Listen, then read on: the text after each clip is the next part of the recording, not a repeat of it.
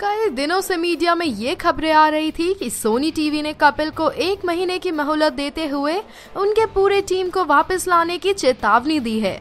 इससे पहले कि वो उनके कॉन्ट्रैक्ट को रिन्यू करे। पर अब सुनील ग्रोवर ने ट्वीट करते हुए साफ़ कर दिया है कि वो इज़्ज़त के साथ काम करना चाहते हैं।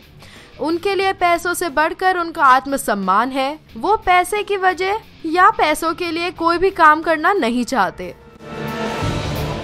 अब उनके बातों से तो ये साफ़ है कि वो कतई कपिल के शो पर वापस नहीं आएँगे। मतलब इन दिनों जो अफवाहें मीडिया में चल रही थी कि सुनील अपनी फ़ीस बढ़ाने की डिमांड कर रहे हैं शो पे वापस आने के लिए, इस ट्वीट से उन सारी अफवाहों पर सुनील ने पानी फेर दिया। तो दोस्तों, इस विषय पर आपके क्या राय हैं? हमें अपना सुझाव बताइए और कमेंट करिए।